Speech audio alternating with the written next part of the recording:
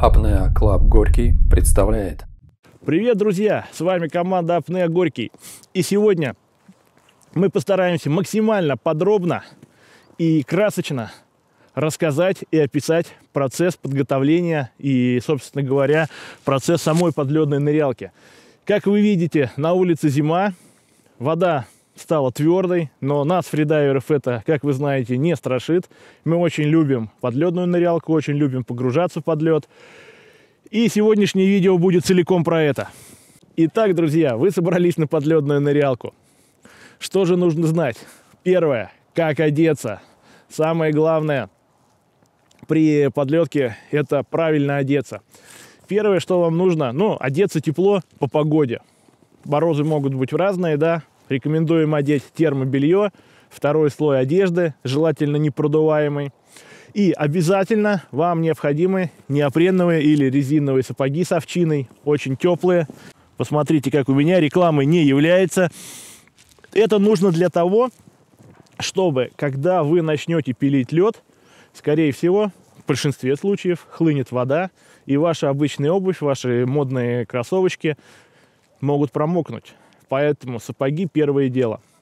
Второе, что нужно иметь с собой в запас, это перчатки. Теплые перчатки. Причем запасные теплые перчатки. Потому что когда вы будете пилить лед, на 99% ваши первые теплые перчатки промокнут. Поэтому всегда имейте пару вторых теплых перчаток.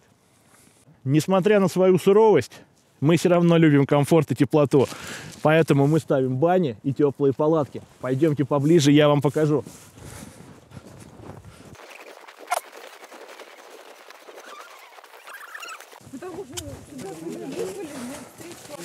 Процесс, процесс идет полным ходом. Вот так вот это выглядит изнутри. У нас сегодня мощнейшая, мощнейшая печь. Процесс сборки. Процесс сборки идет. Миша ставит трубы. Народу много, поэтому у нас сегодня большая баня и большая теплая Большая пища. труба. Большая труба. Здесь, здесь мы организуем теплую, теплую переодевалку, чтобы вещи наши, верхняя одежда оставалась сухой и теплой.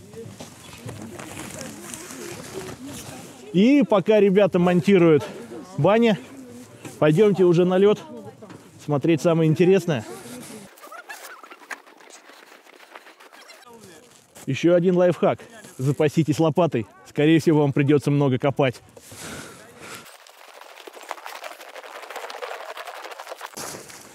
А вот, собственно говоря, друзья, тот момент, для которого вам полиуретановые сапоги понадобятся. Да, на льду бывают довольно часто такие явления, воду выпирает. И здесь уже ваши кроссовки не помогут.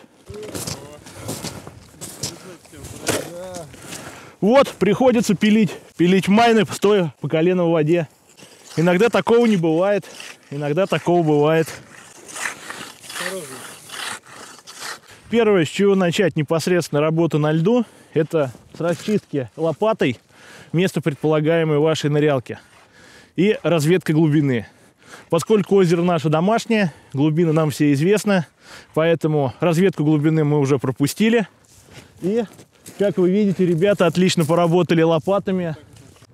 Итак, друзья, после расчистки лопатой предполагаемое место нырялки берем ледобуры.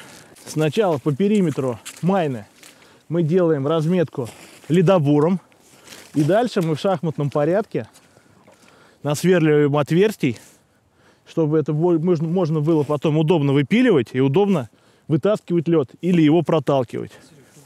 Идеально, идеально для пиления льда подходит вот такая вот финская ледовая пила. Прекрасное изобретение. Лед пилит как по маслу. За свою практику подледного ныряния мы пробовали пилить и бензопилой, и обычными пил- пилами, долбили пешней, ломами. Ну, вот это на самом деле максимально удобно, максимально компактно. Определенно рекомендуем. Как ее найти? найти. Финляндия. Это финская ледовая пила. Можно забить в интернете финская ледовая пила. Очень много роликов на эту тему, очень много магазинов. Но остерегайтесь подделок, потому что вот эта пила на самом деле оригинальная и служит нам уже добрых 5-6 лет. И не точится, не тупится. Один раз только мы ее топили. Ну и то мы ее потом достали, и все замечательно. Финские буквы. Они должны быть. Вверх ногами. Вверх ногами. Льдины проталкиваются, заталкиваются под лед или вытаскиваются наружу. Если лед не очень толстый и выпиленная льдина получается, в принципе, не тяжелой, то ее можно вытащить. Но толстый лед, наверное, удобнее заталкивать, потому что даже небольшой кубик льда выпиленный весит очень много. Ну, тут как бы дело, дело любителя. Если много народу, надо чем-то народ, чем-то народ занять, то, в принципе, можно устроить национальную забаву вытаскивания льда. Хотя и то, и то приемлемо. Вот майна готова. Идем дальше. В качестве, в качестве опоры для нашего троса мы используем такую складную четырехколенную лестницу, которая очень удобно раскладывается. Сейчас мы вам покажем, как располагается над майной.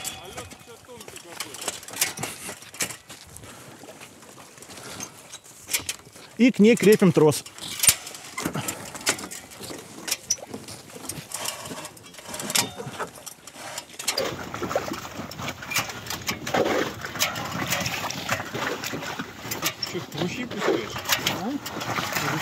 Лучи пускаешь? Вот, соответственно, мы понимаем, что размеры, ширина нашей майны не должна превышать ширину нашей разложенной лестницы.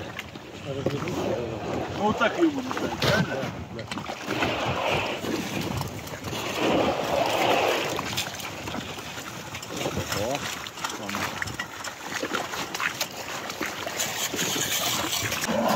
Ну, начинаем, начинаем размечать. Начинаем забуриваться. А для чего делать эти дырки? Это отверстие для того, чтобы мы знали контуры нашей будущей майны. И чтобы пила, чтобы пила при пилении у нас не гуляла, а пилила ровно от лунки к лунке. Принцип пиления достаточно простой. Двигаем вверх-вниз под углом. Лед режет просто замечательно. Конечно, каких-то гигантских скоростей вы здесь не увидите, но четко, планомерно, профил за профилом лед поддается. Чем лучше пилить такой пилой по сравнению с бензопилой? Бензопилы, во-первых, от бензопилы очень много брызг, очень много вот этой снежной каши идет. И пилящий просто весь сырой и в снегу. Это первый минус бензопилы.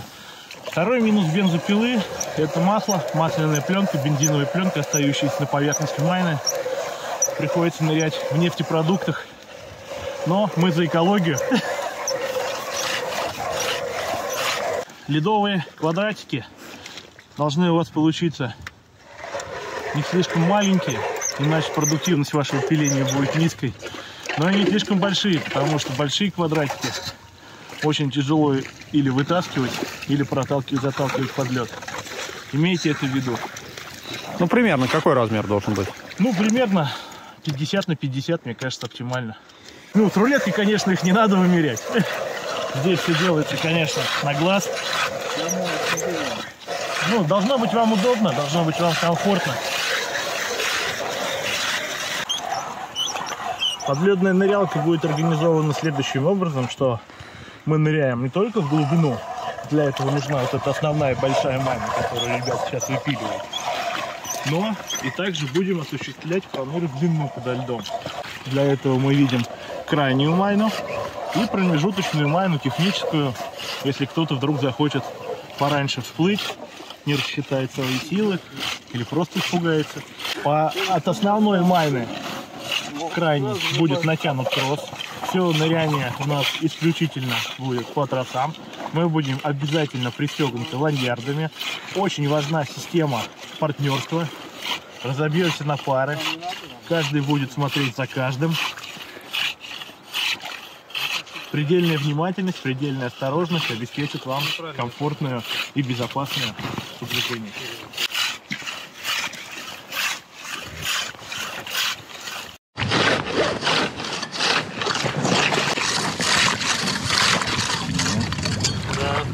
Веревка. Может ее перевернется, ее сейчас толкнет вместе с веревкой, она туда он уходит. А, вот она. Опа. Друзья, никто вас не ограничивает в форме при выборе майна. Бывает фор... майны треугольные, бывают квадратные, в виде елочек, сердечек. Поскольку нас народу много, мы сегодня пилим большую прямоугольную майну. Всем хватит места, все, все разместятся на краю этой гостеприимной льдины. Когда делаешь не очень большую майну, при большом количестве народу, то нырялка достаточно в стесненных обстоятельствах сталки- сталкиваешься ластами, задеваешь друг друга. При нырке очень много брызг ненужных. Маленькой майна имеет смысл, но когда ныряете вдвоем, втроем, да. Народу много, мы пила хорошая, мы можем майну выпилить любого размера. Че, давай кость попилю? А, толкаем?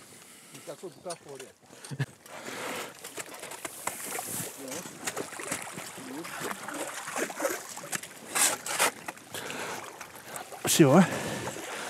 Проводили.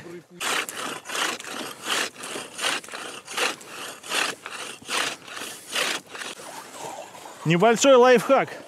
Чтобы было льдину удобнее заталкивать под лед, в середине нужно немножечко надбурить, чтобы потом буром она шла как по маслу и не соскальзывала. Не лишним будет, а точнее даже очень пригодится горячий чай в термосе на льду. Хотя при пилении майны замерзнуть вряд ли получится, но чай точно лишним не будет. Вот это я понимаю, подледочка. И вот, друзья, как мы видим, майна готова, пропилена, идеально ровные прямые края. Лестница установлена над нашим тросом стационарным, который мы заблаговременно позаботились и установили еще летом.